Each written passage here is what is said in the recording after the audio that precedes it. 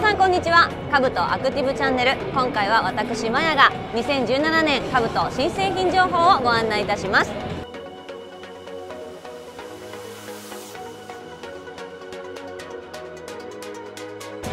フルフェイスヘルメットのニューモデル新しいグラフィックそして新たに発売されるアイテムをご紹介したいと思います。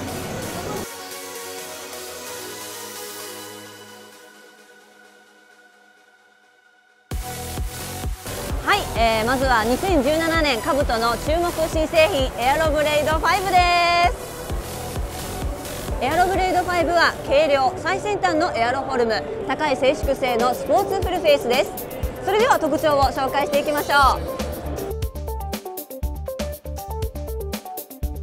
う。はい、えー、まずは何といっても軽いんです。えー、軽いだけじゃなくてですね、えー、非常に見た目もスリムでコンパクトなエアロスタイルになってます。えー、顎周りもですねすごい絞られてシャープでとっても見た目もかっこいいです。また、えー、シェル一体になった、えー、ウェイクスタビライザーも特徴です、えー、空力を良くする独自の特許システムです。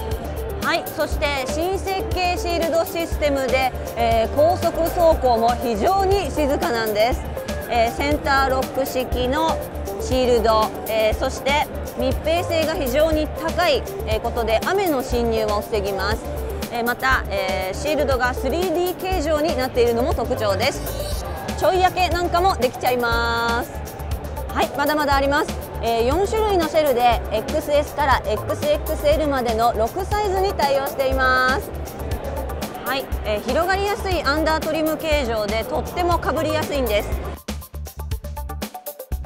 えそしてサイドアウトレットがチークパッドの熱気を放出してくれます。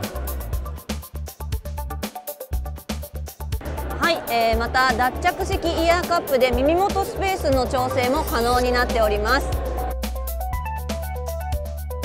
はい、さらに顎ひもにマイクロラチェットバックルを採用し確実な作動と素早い脱着が可能なんです。